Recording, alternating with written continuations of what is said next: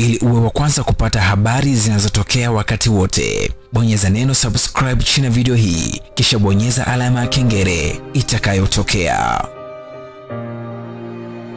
Sasa kama baraza la vijana wa Chadema Taifa tukaona tuwaite tuweze kujadili juu ya umuhimu wa kupatikana kwa muafaka wa kitaifa. Ni wazi kwamba sasa tuna mheshimiwa rais mpya Mama Samia Suluhu Hassan ambaye ameonyesha nia. E, matamshi yake ya mwanzo yanaonyesha kwamba ni rais ambaye angependa kufuata utaratibu wa katiba. Basi na sisi kama Bavicha tukasema hapana, kuna mambo makuu mawili ambayo tunapenda tuyazungumze leo, ikiwa ni utangulizi wa mwanzo kuelekea kwenye miaka minne iliyosalia kumaliza ngwe hii mpaka kufikia elfu mbili na ishirini na tano. Sisi kama Bavicha tuna maoni juu ya mambo makuu mawili kwa mustakabali wa taifa letu. Jambo la kwanza ambalo Bavicha tunaitaka serikali, tunaishauri serikali, tunawashauri wa Tanzania ni umuhimu wa kuwa na tume huru ya ukweli na maridhiano. Umuhimu wa kuwa na tume huru, tume iwe huru, iundwe tume huru ya ukweli na maridhiano. Yaani namaanisha tuwe na kamiti ya truth and reconciliation. Kuna haja ya kuwa na tume huru ya ukweli na maridhiano, tume ambayo itataka kujilizisha, itataka kuchunguza kwa kina juu ya uovu wote waliofanyiwa watu waliokuwa na mtazamo tofauti na ule wa serikali. Jana nimemsikia mwenyekiti wa vijana Harry James akijitokeza hadharani na kusema kama kuna mahala ambako UVCCM walikosea, anaomba msamaha. Nataka niwakumbushe waandishi wa habari, Harry James, Harry James anayezungumza leo habari za msamaha ni mwenyekiti wa baraza la vijana wa CCM, ni mjumbe wa kamati kuu ya Chama cha Mapinduzi. Kwa yale yote aliyoyafanya katika utawala uliopita, sio tu kwamba hatukusikia IGP akimkemea hata chama chake cha Mapinduzi akikuwahi kumkemea hadharani. Harry James aliyesema awamu hii watatumia njia ambazo wanatumia siku zote, watatumia sindano. Hakuna jeshi la polisi lilimwaji popote, hakuna chama cha Mapinduzi akiwa kama mjumbe wa kamati kuu ya chama ambapo lilisema hapana, huo sio msimamo wetu, huo ni msimamo wa Eli James. Huyu anayeomba radhi leo, huyu Eli James aliwahi kusema kama watu hawaamini kama Rais Magufuli anafanya kazi, basi watembee na wake zao. Yaani, kwa mawazo yake yeye alitaka watembee na wake wa Watanzania ambao wanaamini kwamba Mheshimiwa Rais hakuwa anafanya vizuri. Huyo Harry James aliwahi kusema wapinzani wanawadekeza, kwa hiyo watakakomkuta Mbowe na Zito wawashambulie, alipokuwa kule Arusha. Lakini kama hiyo haitoshi, spirit hii ilienda mpaka chini kabisa, chini. Mwenyekiti wa vijana wa kata ya Sandali akajitokeza, anasema anaomba ruksa, anawaomba polisi ruksa wawaueue wapinzani, wawakatekate wapinzani, wawavunje miguu wapinzani, wawavunje viuno wapinzani na wengine wengi. Nimetolea mifano hii kadha kuwaonyesha wapi tulikofika.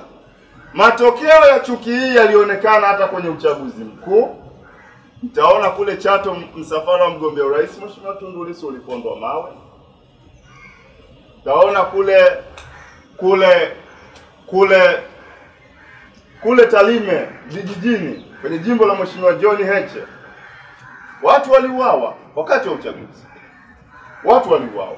Kama nilivyosema kwenye maneno yangu ya utangulizi, kuna Watanzania walioteseka, waliokimbia, ambao ni wajane, ambao ni wagane, ambao hawapatikani, hawakupatikana kabisa.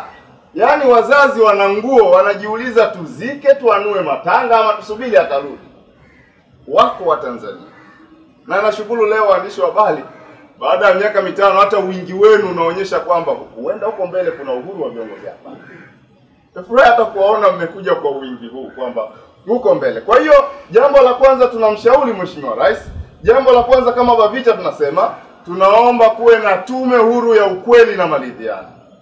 Tume hii ikatuletee mbivu na mbichi, walioonewa warudishiwe stahiki zao, walioonewa sheria ifuate mkondo wake, ili tuwe na taifa ambalo watu wake wameponywa na they are ready to go forward kwa ajili ya maisha bora ya taifa letu la Tanzania.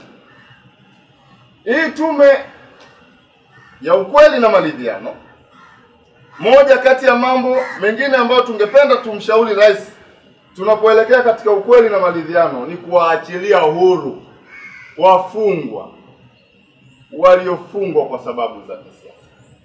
Juzi Mheshimiwa Rais wakati ana anapokea ripoti ya TAKUKURU alimwelekeza mkurugenzi wa TAKUKURU kufuta kesi ambazo hazina mashiko, lakini hivi tunavyozungumza leo, kuna vijana wenzangu wengi wako magereza, wako polisi, wanaendelea kusota. Mnajua Mdude Nyagali bado yuko ndani mpaka leo. Mnajua George Sanga na wenzake wakina Ayubu Skagonamo na wengine wako ndani mpaka leo. Mheshimiwa Rais ikiwa anataka kuliponya taifa hili, aruhusu watu wote waliokamatwa na kufunguliwa kesi za kisiasa ama wanasiasa ambao walitengenezewa mazingira ya kupewa kesi. Kuna watu wamepewa tu kesi ili wakae ndani. Ni wakati sasa, kwa niaba ya vijana wa Tanzania na kwa niaba ya vijana ambao wanateseka magereza, mwaka huu tulimtuma mwenezi wa baraza la vijana wa Chadema Taifa, Mheshimiwa Twaha Mwaipaya kuzunguka nchi nzima kuona hali jinsi ilivyo ya magereza baada ya yeye mwenyewe kutoka gerezani baada ya kung'ang'aniwa na DPP kwa muda mrefu.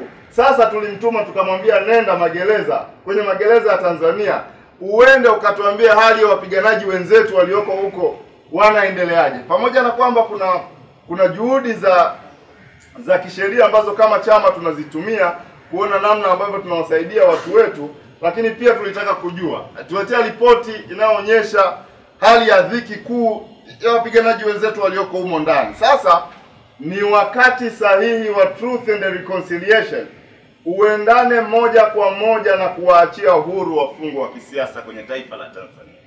Nimewataja kwa ufupi tu baadhi kwa majina yao kuthibitisha kuwa mimi kama mwenyekiti wa baraza la vijana wa Chadema Taifa, kuna mlolongo mkubwa sana wa vijana wetu ambao wako ndani, ambao kwa kweli tunataka wawe huru, waenjoy uhuru wao katika taifa letu la Tanzania.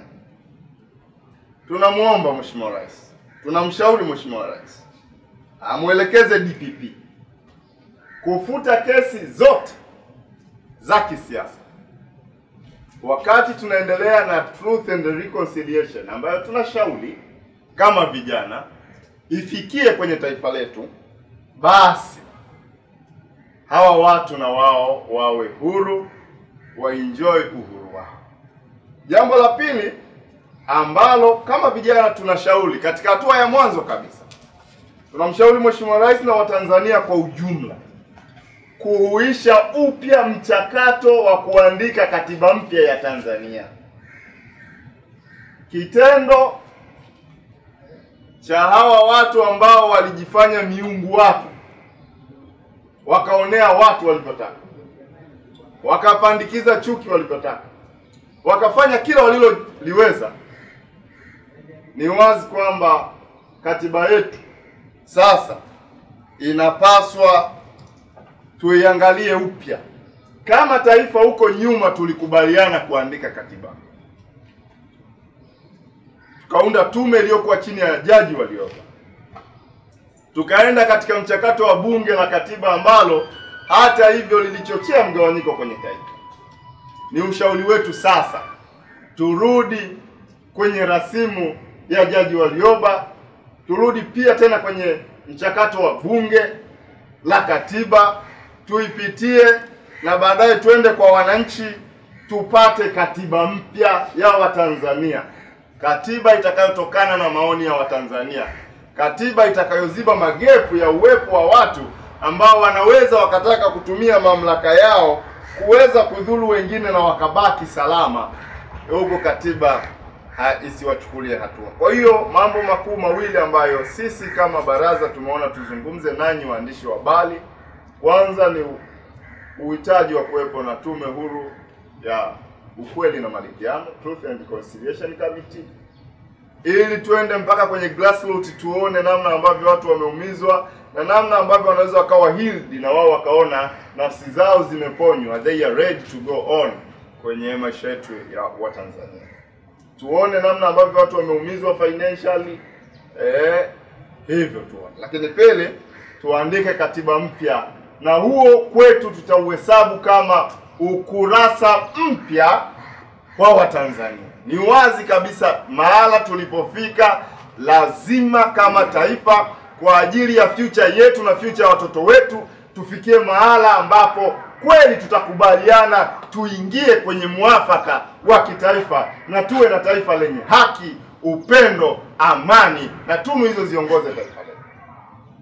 Mwisho nitoe rai yangu kwa vijana wanaonisikiliza.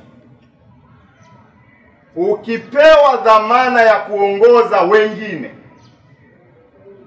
waongoze kwa kufuata katiba, kanuni, taratibu na sheria. Usiongoze kinyume na hapo, eti kwa sababu unamridhisha mtawala aliyoko madarakani kwa wakati.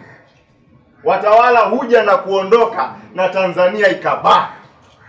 Tanzania itabaki, lakini watawala wanakuja leo na kesho watawala wanaondoka, unabaki wewe peke yako. Tuongozwe na upendo, tuongozwe na kutii katiba yetu. Nitoe wito kwa vijana wangu, nitoe wito kwa vijana wangu. Nimemsikia Harry James anasema anasema e, nimeamua kuomba radhi ili tumpe platform mpya, mama aanze kwa jukwaa jipya. Ala, hivi uombi radhi kwa sababu ya makosa kwamba unajutia ulichokifanya eti unaomba radhi ili mama aanze ukurasa mpya. Akija mtawala anayeonea watu, utaonea tena watu ili aanze na kuonea watu. Sioni kama una dhamira ya dhati kwa kweli kwa maneno haya.